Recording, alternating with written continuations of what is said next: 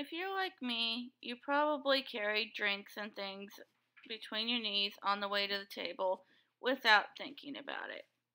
Well, unfortunately, this happened. Hey guys, I know at least a couple of you guys are also in wheelchairs, so um, I am going to probably just post this as a update, um, so this doesn't happen to you as well. Um, Arby's ink on their cups,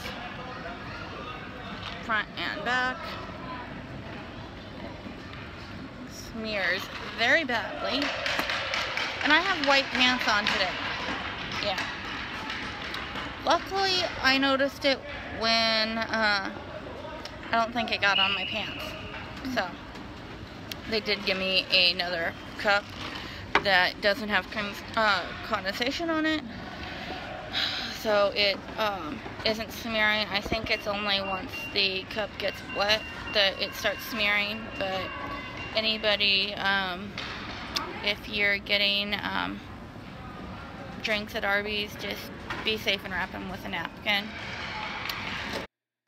When I went up and talked to the location staff, all they could tell me was, okay, thanks for letting us know you want another cup? I was like, okay, yeah, thanks. Um, yeah. So, um, however, this was, this happened at the Anchorage, Alaska Diamond Center location.